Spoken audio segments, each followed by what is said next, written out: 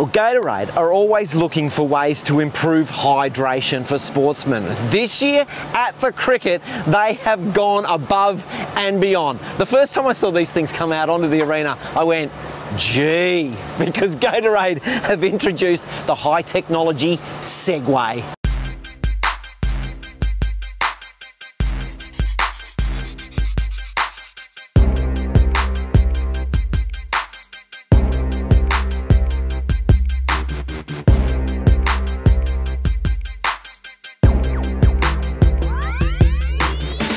Feet go go. that way, it'll go that way and compensate Yeah. for you leaning that way. If you go, Alright. your feet lean backwards, it'll Yeah. go backwards. Okay.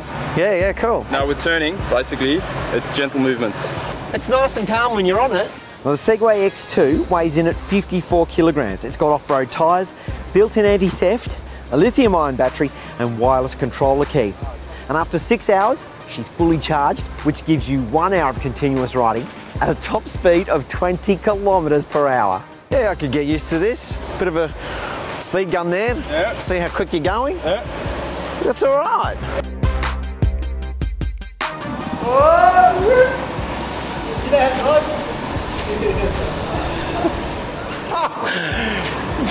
no one told me about the headroom.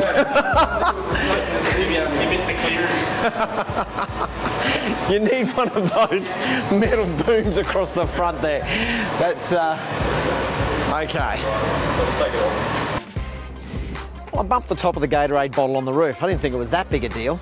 Anyway, it's another test, another opportunity. I've had a taste and I want some more. Hey, do you know where the Gatorade guys are? Over there? Over that way.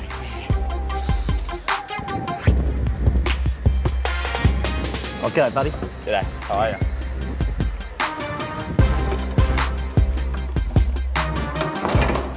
What are you doing in here? Mate, I don't want any trouble, all right?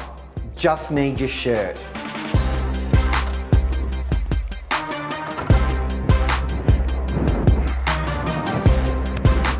Yeah, thanks, buddy. All right.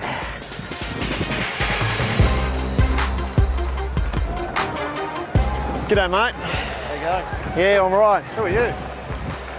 Yep.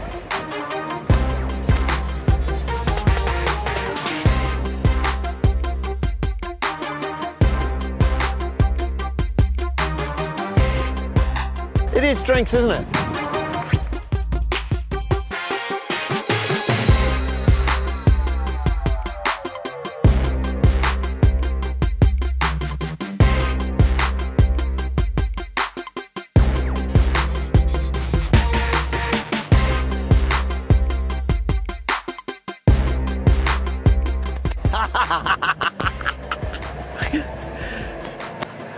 Oh, I wonder if anyone noticed.